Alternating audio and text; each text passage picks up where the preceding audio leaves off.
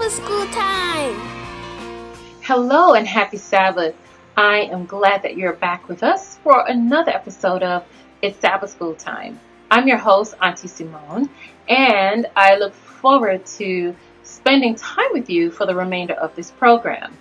Now, today, before we get into our program, we are going to let you know that you can visit www.gracelink.net for your Sabbath school lessons, starting with the beginner all the way to the junior, and you'll have other resources as you learn more about Jesus.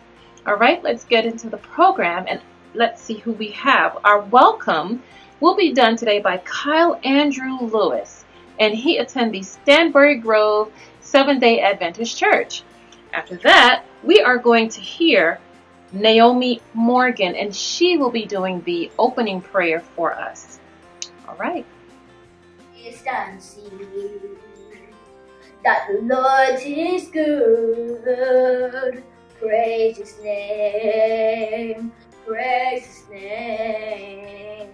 Happy Sabbath, everyone. Welcome to our Sabbath school. Stay tuned, relax, and enjoy. Welcome. Welcome. Stay welcome. Please bow your heads with me as we pray. Heavenly Father, we thank you for today. We thank you for waking us up in our right minds. Lord, protect us today and help us throughout the day to listen to your words.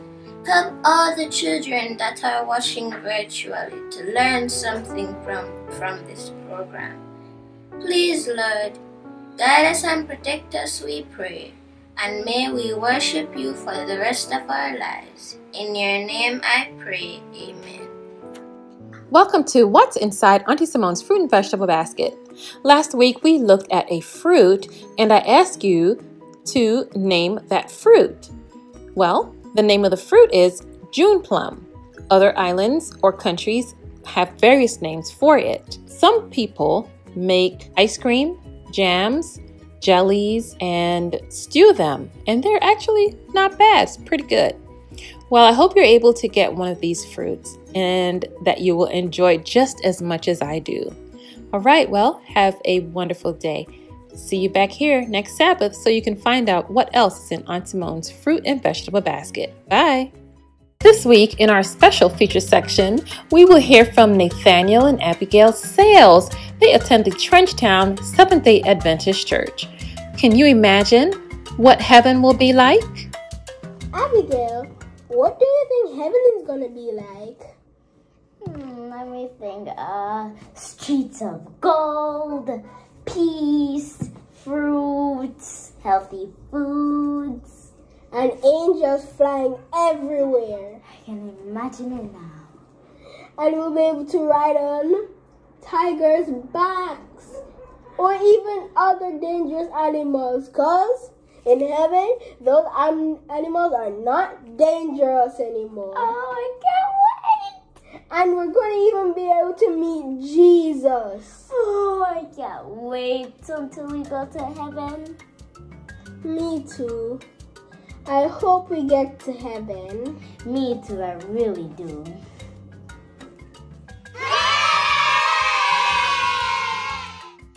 Well, at this time, we are going to have our song, the sing along time. And we're going to hear from Kwazene Young, and she attended Tradiga Park Seventh day Adventist Church. Song number two will be done by Leah Brown, who attended Tabernacle of Joy and New Life Seventh day Adventist Church in Brooklyn, New York. That's right, two churches. Then we'll hear from Kadeen Morris, who attend the Old Road Seventh day Adventist Church. Run along, get your instruments if you have any, and sing or play along with them.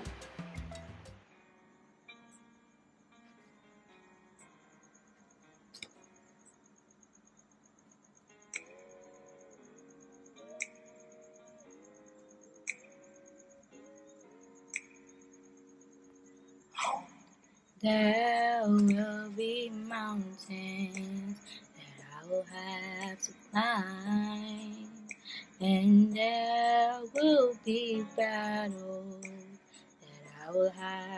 fight. But victory or defeat It's up to me to decide. But how can I expect to win if I never try? I just can't give up now. I've come too far from where I've started from. Nobody told me the road would be easy, as I don't believe He's brought me this far to leave me. Never said there would be trials, never said I wouldn't fall. Never said that everything would go the way I wanted to go. But when my back is against the wall and I feel hope is gone, I just lift my head up to the sky and say, Help me to be strong. Oh, I just can't give up now. I've come too far from where I started from. Nobody told me the road would be easy, I don't believe he brought me this far to leave me. I know you didn't bring me out here to leave me lonely, even when I can't see clearly. I know that you are with me, so I can't. I just can't give up now. I've come too far from where I've started from. Nobody told me the road would be easy, but I don't believe he brought me this far to leave me. I just can't give up now. Come too far from where I've started from. Nobody told me the road would be easy, and I don't believe he brought me this far to leave me. I just can't give up now.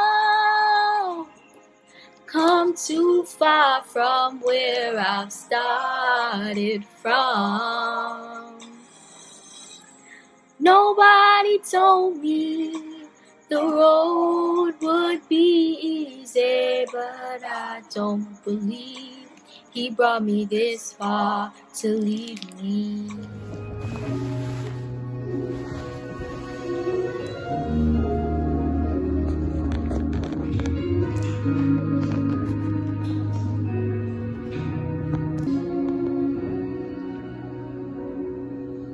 It's not just about the manger where the baby laid. It's not all about the angels who sang for him that day. It's not all about the shepherds or the bright and shining star. It's not all about the wise men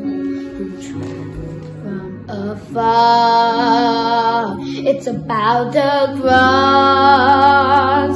It's about my sin. It's about how Jesus came to be born once so that we could be born again. It's about the stone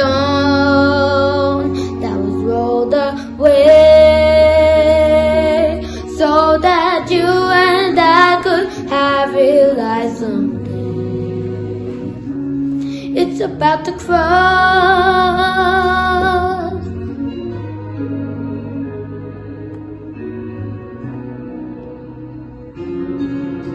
It's not just about the good things in this life I've done. It's not all about the treasures or the trophies that I've won. It's not all about the righteousness that I find within. It's about this precious blood that set me from my sin. It's about the cross. It's about my sin. It's about how Jesus came to be born once so that we could be. It's about the stone that was rolled away so that you and I could have realized someday. It's about the cross. The beginning of the story is wonderful and great, but it's the end that could save you, and that's why we celebrate. Hey, it's about the cross. It's about my sin. It's about that Jesus came to be born once so that we could be born again. It's about God's love nailed to a tree. It's about how every drop of blood that flowed from Him when it should have been me. No, that was rolled away so that you and I could have real life someday. So that you and I could have real life someday. It's about the cross. It's about the cross.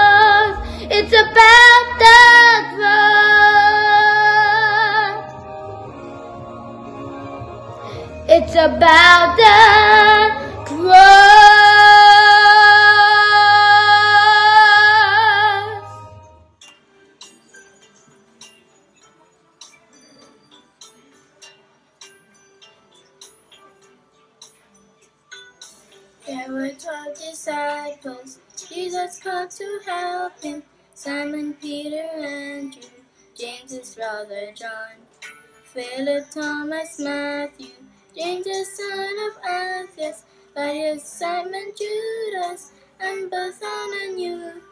He has called us to. He has called us to. We are his disciples. I am one warning you. He has called us to. He has called us to. We are his disciples. We his work must do. Twelve disciples. Jesus called to help him. Simon, Peter, Andrew, James, his brother John, Philip, Thomas, Matthew, the son of Alphaeus, Thaddeus, Simon, Judas, and Bartholomew. He has called us to. He has called us to. We are his disciples. I am warning you. He has called us to. He has called us to. We are his disciples. We his work must do.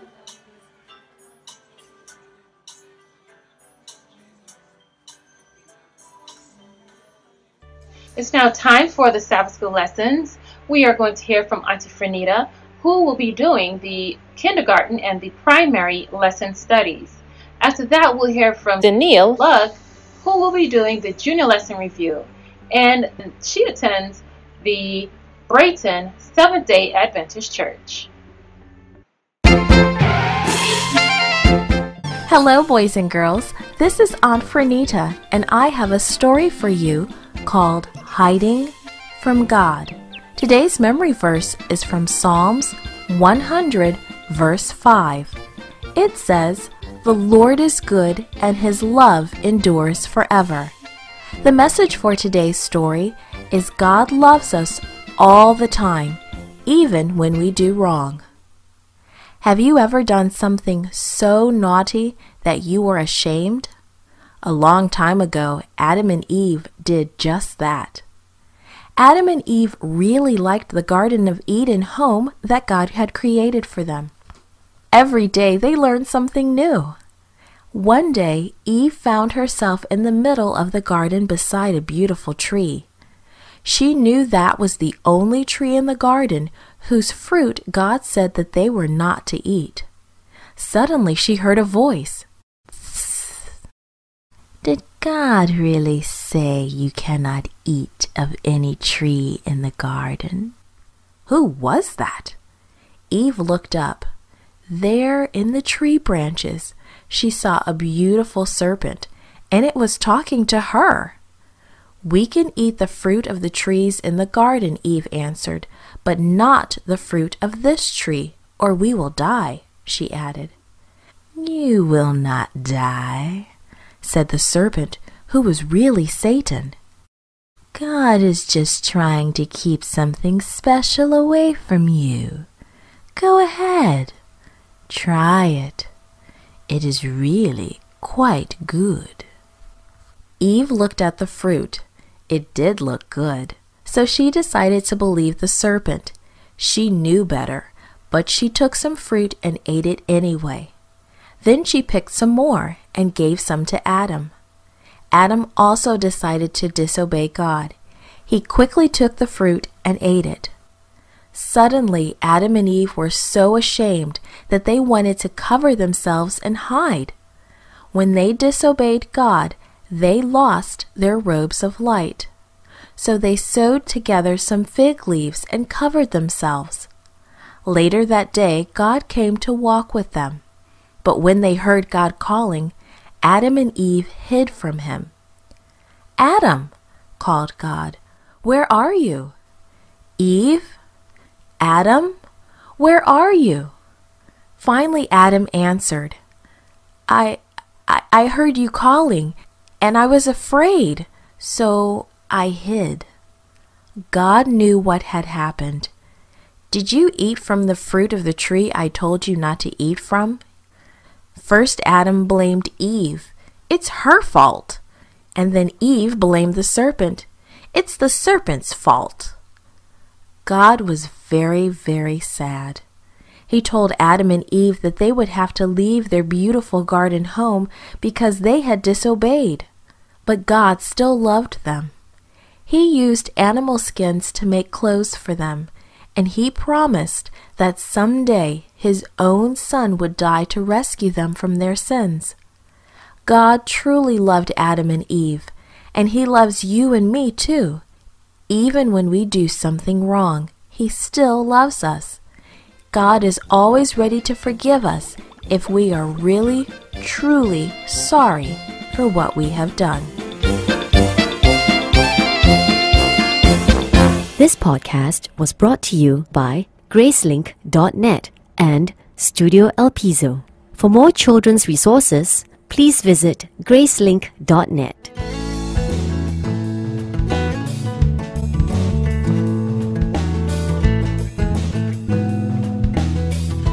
Hello, everyone. It's Aunt Frenita, and we're studying Lesson 4 A Picture of God. The message is God's commandments help us understand Him.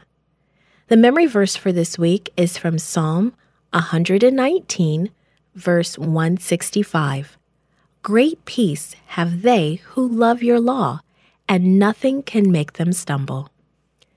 Mika jumped up and down with excitement as she looked at the letter from her grandma. In the letter was a picture of Grandma in her new garden. It helped Mika see exactly how Grandma looked now, and it reminded her of the fun things that they had done. Letters, photos, phone calls, and video chats help you remember what that person is like.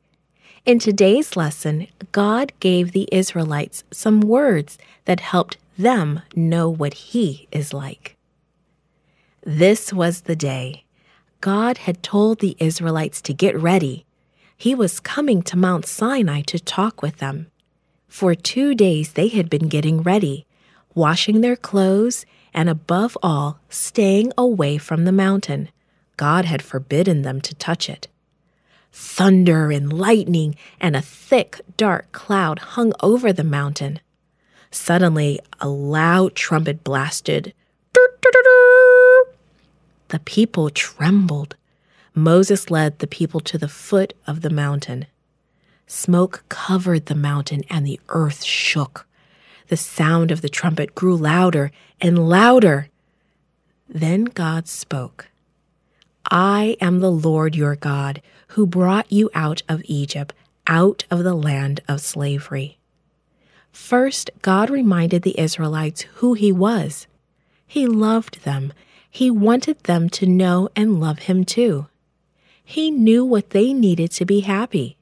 So He came to Mount Sinai to give them the Ten Commandments. God spoke, You shall have no other gods before me. God wanted them to respect His power to make Him the most important thing in their lives. Then God said, You shall not make for yourself an idol in the form of anything in heaven, or on earth beneath, or in the waters below. You shall not bow down to them, or worship them. For a long time, the Israelites had been in Egypt, where people worshipped many idols they had forgotten how to worship God. God spoke again You shall not misuse the name of the Lord your God, for the Lord will not hold him guiltless who misuses his name. When we love someone, we are careful to respect their name. For the fourth commandment, God said, Remember the Sabbath day by keeping it holy. God gave us the Sabbath as a special time to rest and to get to know Him better. He also wants us to remember the wonderful way He created us and cares for us. When God gave the fifth commandment, He said, Honor your father and your mother, so that you may live long in the land the Lord your God is giving you. God gave us parents to love us, to care for us, and to help us learn right from wrong. In return, God wants us to respect them and to obey them. God knew that living in loving families is best for us. The next four commandments were short, telling the Israelites how they were to act toward other people. You shall not murder. God alone can give life, and He wants us to respect and protect it. You shall not commit adultery. God wants happy families. He wants parents to be married to each other and to love each other in a special way they don't share with anyone else. You shall not steal. God wants us to respect the things that belong to others. You shall not give false testimony against your neighbor. God's words are true, and He wants our words to be true as well. The last commandment told the Israelites how they should feel when other people have nice things that they don't have. You should not covet anything that belongs to your neighbor. God wants us to focus on Him, not on other people or what they have. God gave these commandments to the Israelites to help them understand Him and what is important to Him and God knew the Israelites would be happier if they followed His rules. God's rules still tell us what is important to Him. The Ten Commandments still help us understand what God is like. They still give us a picture of God who loves us and wants the best for us.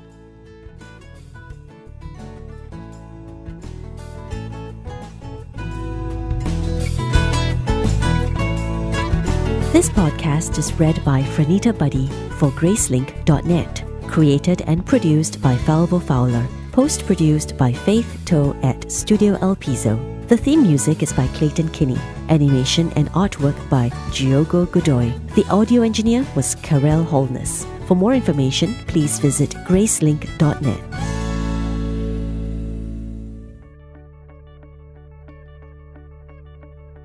Happy Sabbath, everyone. Lesson 4. The topic is clear headed or beheaded. Today's power text is taken from Romans 12, verse 1. And it says, Therefore, I urge you, brothers and sisters, in the view of God's mercy, to offer your bodies as a living sacrifice, holy and pleasing to God. This is your true and proper worship. The story is about John the Baptist, Herod, Herodias, and Salome. John was in a prison cell. He would always remember when he was beside the Jordan, going for walks early in the morning and spending quiet times talking with God, preaching to hundreds of people. One day, one of the listeners was Herod Antipas. He was a ruler of local area. John preached, Repent your selfish ways, lying lips, pride, and adultery, and be baptized, and don't be like Herod, who took his brother's wife. Herod listened and talked to John after everyone left. At home, Herod started to act differently. But Herodias, the wife of his brother, wasn't pleased. She told him to put John in prison, and he did. But he could not bring himself to kill him, because he thought John was a prophet. Herodias continued plotting to get rid of John, until finally her chance came. There was a party for Herod's birthday, and there and there was a lot of food and intoxicating wine. Herodias told him to eat and drink and forget about his problems, and that he did. Herod was drunk, and a young woman named Salome came to dance for him. Herod wasn't thinking at all that he wanted to impress Salome, as if he was powerful and generous. So he told her he would give her anything that she wanted. Up to half of my kingdom, said the king drunkenly. Salome ran to her mother for instructions, and her mother told her to ask for John the Baptist's head on a platter. When Salome told Herod that he thought she was joking because she was also drunk too. But when he looked in her eyes, he realized she wasn't joking. So he sent a message to the prison, and before the night was over, Herodias and Salome had John the Baptist's head on a platter. My lesson from the story is not to drink intoxicating wine. Lesson studies are all done, and now we're going to have song number four. That will be done by Torianne Hunter, and she attends the Palm Seventh day Adventist Church.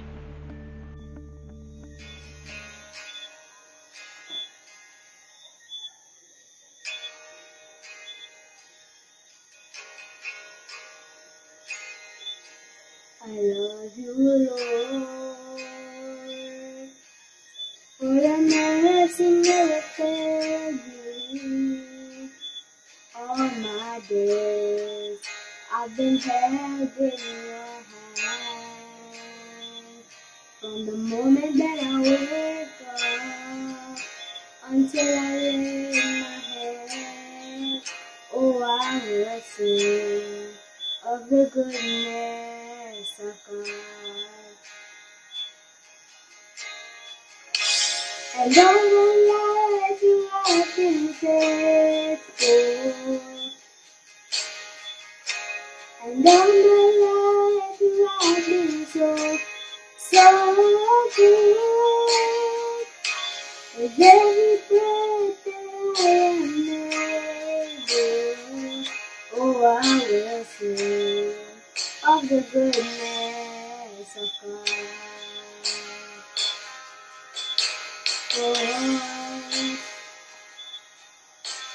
you have led me through the fire and the darkest night. You are close like no other. I know you are your father. I know you are your friend. And I have lived in the goodness of God. And all my life you have been faithful.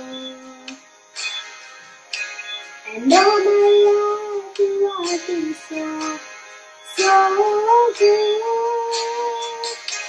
With every breath that I am able, oh, I will sing of the goodness of God. Your goodness is running after, it's running after me. Your goodness is running after, it's running after me. With my life laid down, I'm surrendered now. I give you everything. Your goodness is running after, it's running after me. Your goodness is after, it's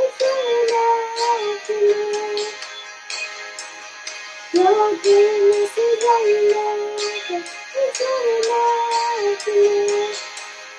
My life laid down, I surrender now. I give you everything. Your goodness is after, it's running after me.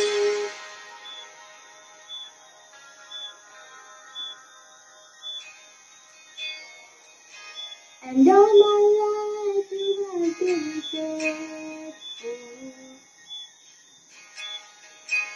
And all my life you have been so, so good. With every breath that I am able, oh, oh, I feel free of the goodness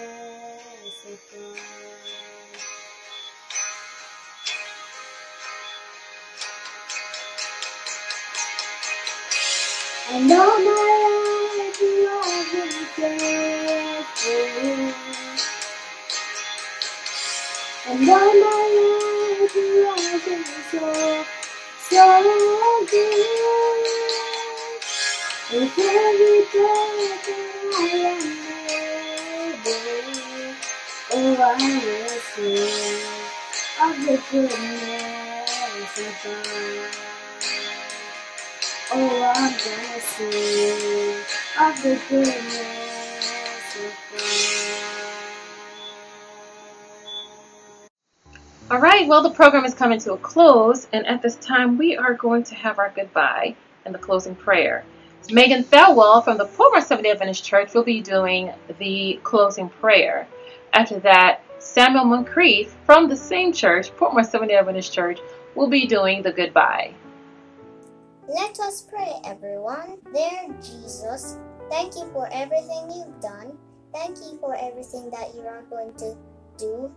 Please bless the children program and please cause your your power to be on it and please help us to do your will always. Bless the children program and please help souls to be won. In Jesus' name I pray, Amen. Bye from Sabbath School. See you next week. Hello, parents, guardians, and churches. Would you like to have your child participate in the It's Sabbath School Time program? They can do the welcome prayer, sing or play an instrument, say the goodbye, or do a short testimony, praise, poem, short children's story, or skit for the special feature section. Please send your videos to it's Sabbath School Time PSDA at gmail.com. Again, it's Sabbath School Time PSDA at gmail.com. Boys and girls, we use this time to say thank you to God for allowing us to have this program. Our thank you also go to NCU TV and NCU FM, your education and wellness station. It's now time to say thank you to all the participants in our program today. Kyle Andrew did the welcome, Naomi did the opening prayer. Our special feature was done by Nathaniel and Abigail. Song number one was done by Kwazane, song number two, Leah, song number three, Kadeen, while our junior lesson review was done by Daniil. Song number four by Torianne, Closing Prayer by Megan, and Our Goodbye was done by Samuel. The Sabbath School Time team leaders are Jackie Morrison, Children and Adolescent Ministry Leader, Sylvina Williams, a Sabbath School teacher, yours truly, Simone Harris, Sabbath School teacher and producer, and Micaiah Morgan, our assistant producer. Now, there's something I want you to do for me. Now, last week I told you I would have something for you to do. So, here's what I want you to do. I want you to email us and let us know what's something special that your family does on Sabbath because it's Sabbath that makes it special from any other day of the week. And I will do my best to read some of them on air. If I don't get to read all of them, please know that I, I, I won't be able to get to all of them. Give us your name and the church that you attend. All right? See you next Sabbath, and don't forget to answer the question. All right, bye.